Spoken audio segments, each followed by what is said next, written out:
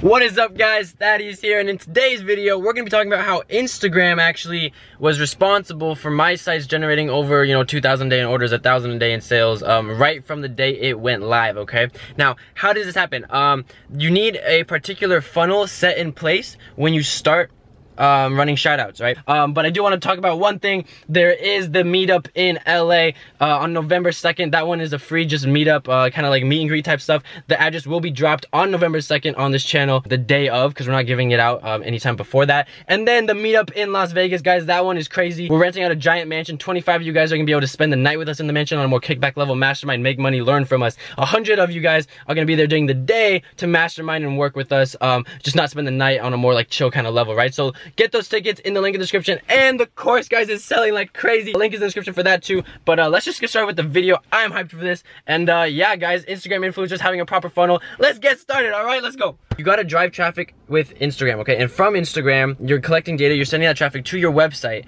And then from there, you can, you know, have your Facebook pixel on your website to collect the data and scale up, right? So again, I use Instagram influencers to start off. I usually run shoutouts for around a month. From there, I look into um, starting paid ads with Facebook and scaling with that, either Facebook paid ads or Instagram sponsored posts, okay? Now, aside from all of that, we need to figure out, I'm gonna explain to you guys the, the five the five steps in this whole Instagram funnel that all play key role into start into into converting from Instagram, okay? Because um, a lot of you guys are, you know, starting with influencers, starting with social media um, without using paid ads yet, like I do, but you're still having trouble, right? And I want to be able to show you guys or help you guys out, showing you guys the, the five steps that you need set in place because it's it's a funnel, guys. If one step in the funnel is messed up, that that's that's a problem okay uh that that'll butcher you know every other step in the funnel that that you took time and invested in to perfect but if there's that one that's not doing um so good or there's one that you messed up on then that uh, adversely can, you know, make the entire funnel crap, right? So I apologize if I seem tired. It is 1.30 in the morning right now.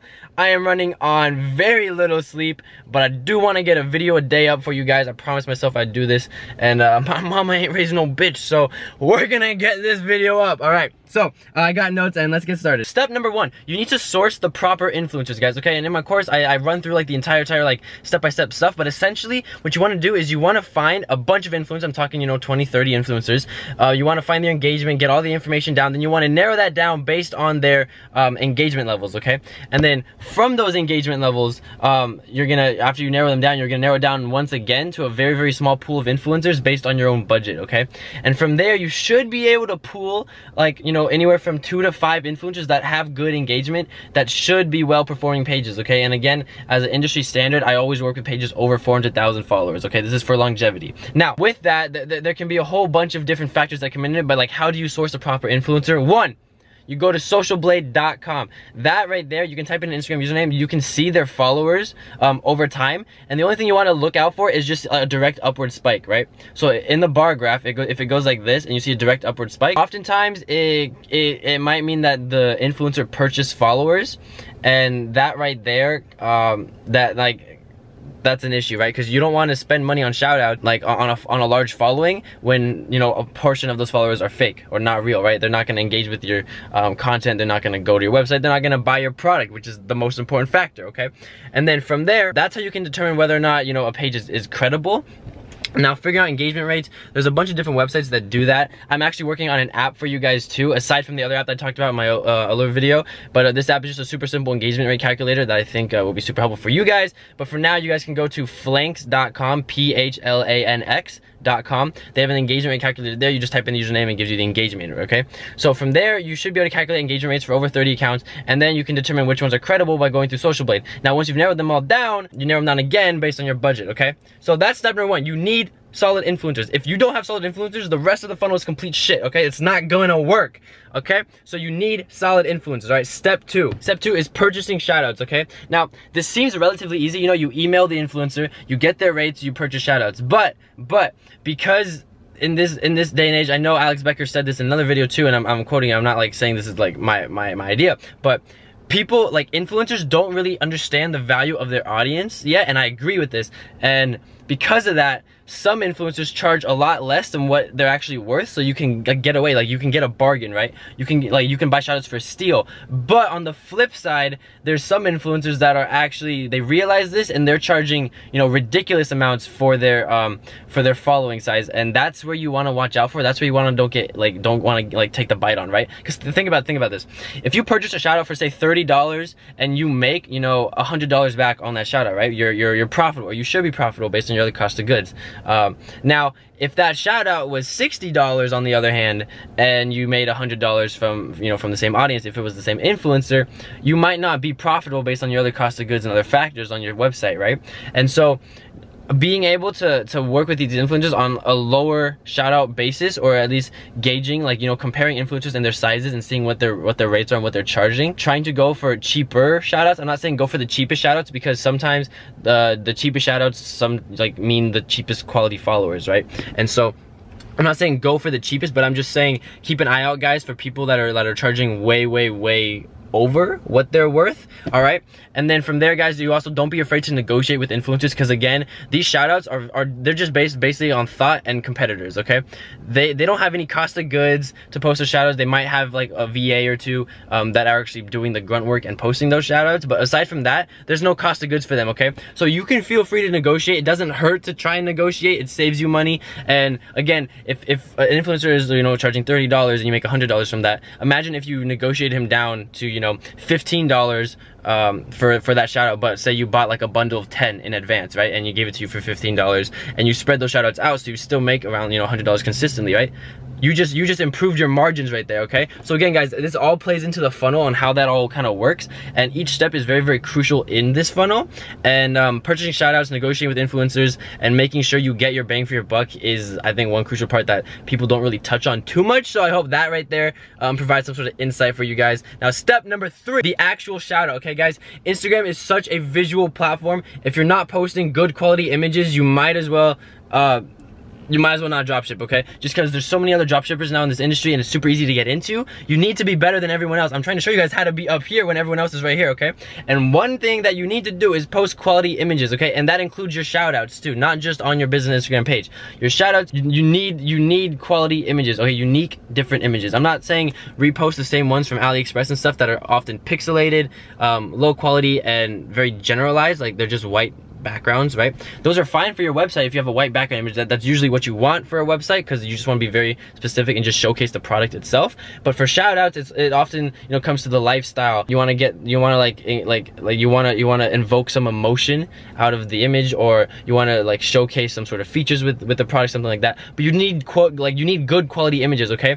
And I see a lot of you guys, I said this in my last video too, but I want to elaborate on this, but a lot of you guys post text like you, slap some text on an image and you use that as your shadow okay? That's not what you want to do okay? Because again i'll talk about this in the next step but um, the the the picture is supposed to sell viewers, your like the, the, the audience on looking at the caption, okay? The picture isn't supposed to sell them on going to the website. That's not that's not that's not how the funnel works and you don't want to skip any step in the funnel or you mess everything up, okay? How does this work? So you need a good quality image that gets their attention. They're like, "Oh shit, what the hell is this?" right? That gets their attention. Um some something unique and just not not a like a bland boring image, okay? And sometimes guys this means you need to work with photographers, use your own camera, take some photos or um you know, network around, pay someone for, for photos, right? Um and honestly if, if you need a bootstrap, if you need to be scrappy, then you know that's what I did. You can take photos yourself until you find other people that can take photos for you, or if you make friends with photographers, stuff like that. Okay, and doing that, you you one you get unique images now that now you you're, you're establishing your brand outside of just a regular dropshipping store.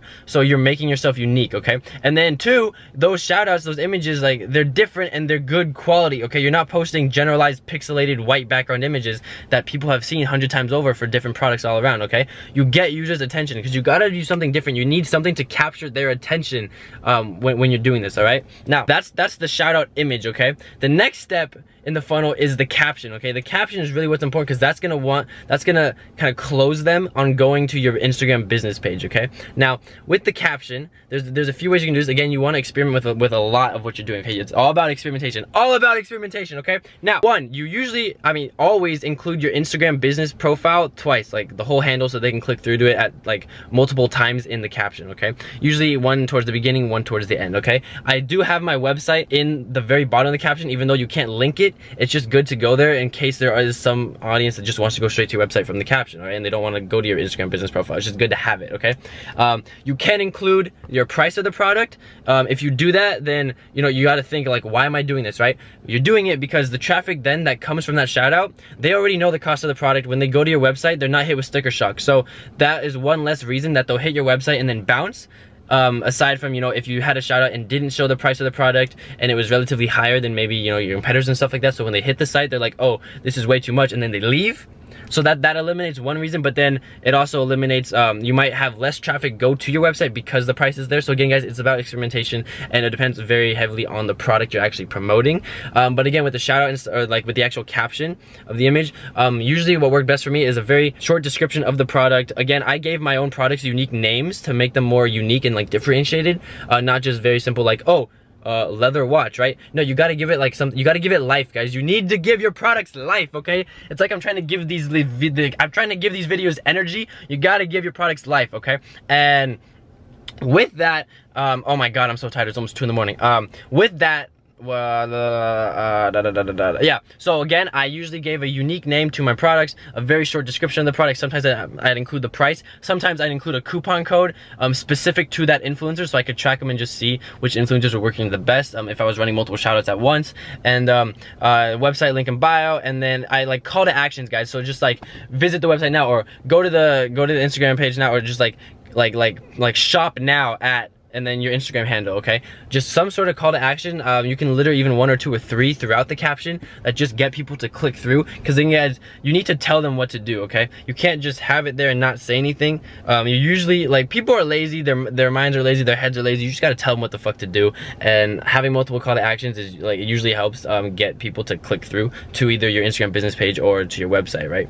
Um, that's why you also have CTAs on your Instagram business profile page, which is the next step in the funnel. Nine photos photos fills up the grid. Preferably you want more, but if you just don't have nine photos, make sure you have nine photos before you start running shoutouts. Um, again, guys, followers now. This is a touchy subject. I would never advocate for buying followers on any sort of industry, um, like no personal branding ever, no, um, and just nothing else except for dropshipping for social proof. Never advocate for purchasing followers, but for dropshipping, it is a an idea to keep in mind, okay? I never did this myself because I grew my pages organically because I had influencers. Basically what I had is I had the influencers like all the posts, all the pages I'd post because I was curating an Instagram page consistently. So I was posting two to three times a day on my Instagram business page, okay? And I was running shoutouts daily. I'd have those influencers like all my photos that I was posting every single day. And from there, I'd get a bunch, a bunch of traffic. Okay, that's how I grew to 30,000 followers in one month with my Instagram business page organically, okay? So I never had to buy followers, okay? I've seen other people buy followers because they aren't growing their pages.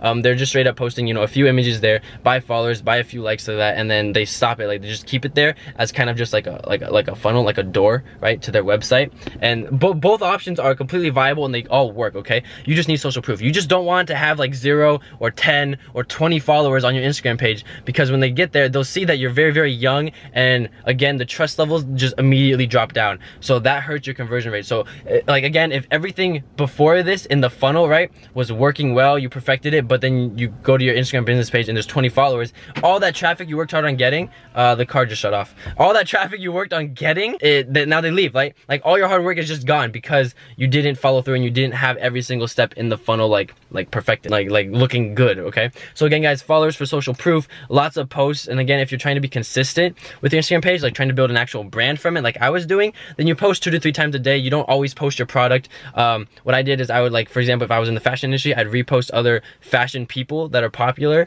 Um, I tag them, of course, but you repost them and then you post a product picture, you know, every three images or something like that, okay? And then I'd also have the influencers like all these photos so that they know, um, or like they like all the photos to get that organic traffic and exposure from their audiences to my site and that's how I grew organically, okay? But guys, that is the video. Um, I, I, I think it was kind of long, but I hope you guys got some value from it. I just wanted to elaborate more. I know I mentioned it in the last video, but again, um, that like the funnel and how to get this traffic to convert well on your pages is super super super super important okay? And um that's the video guys. I hope you like it. Leave a like comment subscribe. I respond to everybody's comments. I'm trying to do these daily goddamn videos. It's two in the morning. So this video will be up later today. Technically i'm gonna go home and edit this shit to knock out. Um and then again guys course link is in the description. Price is going up. I think like the whole retail price is like 647 now, but um there is a discount for you guys right down below. I don't know how long the discount will be, but check it out guys cuz the course is selling like hotcakes, so it means it must be working. And um uh, da, da, da, the meetup, guys. So there is a meetup in LA. I will drop the address to the LA meetup the day of the event. I don't want people, I, like, um, I can't give it out because like, like all of us, like all my business partners, we're all giving, we're all dropping the address for the LA meetup on November 2nd, um, on November 2nd. Okay, so I'll have a video up that day with the address. And then the uh, the Las Vegas meetup, guys. That one is you actually need to buy tickets for because we're renting out a giant mansion. 25 of you guys are gonna be spending the night with us to mastermind, learn, and make money with. And then 100 of you guys will be there during the day to mastermind, learn, make money with, but then not actually spend the night and like spend time with us and grind with us on a more like chill kind of level. Um, again, tickets are in the link. They're the very first link down below, guys. I want to meet all you guys because you guys are freaking amazing. And then the last meetups in New York and Chicago were freaking crazy, okay? We had like 150 people in the New York one. We had like 90 people in the Chicago one. And Las Vegas, I think we're going to blow it out of the water. So I want you guys to be there. I want to see you guys because it's kind of crazy. It's just like, like I know it's talking to a screen and there's a lot of you guys behind these videos watching them and it's awesome. But I want to meet you guys in person because it's freaking awesome. And I'll see you guys in Las Vegas. Again, guys, take care. Like, comment, subscribe. I'll see you guys in tomorrow's video. And uh, yeah, peep the course. Link in description. Always plug. Take care, guys. Peace.